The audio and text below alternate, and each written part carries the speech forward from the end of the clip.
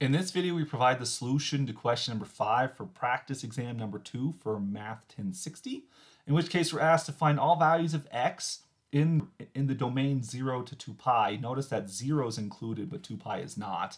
Sorry, 2 pi. Uh, we want to find all values x for which sine of x is equal to 0.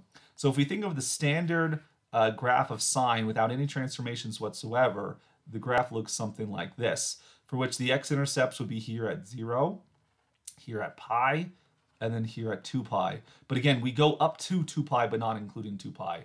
So there's going to be two places which sine is equal to 0. That happens at 0 and pi, so the correct answer would be B.